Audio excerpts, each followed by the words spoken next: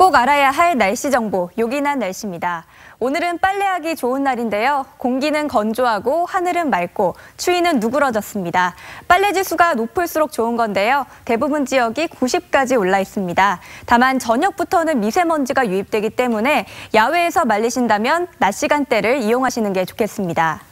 포항은 오늘 아침 규모 2.6의 지진이 났는데요. 본진 이후 총 92차례의 여진이 발생한 겁니다. 여진은 길게는 몇 개월, 몇 년까지도 갈 수 있다고 하는데요. 더 큰 피해가 발생할 수 있는 만큼 각별한 주의가 필요하겠습니다. 요긴한 날씨 홍재화였습니다.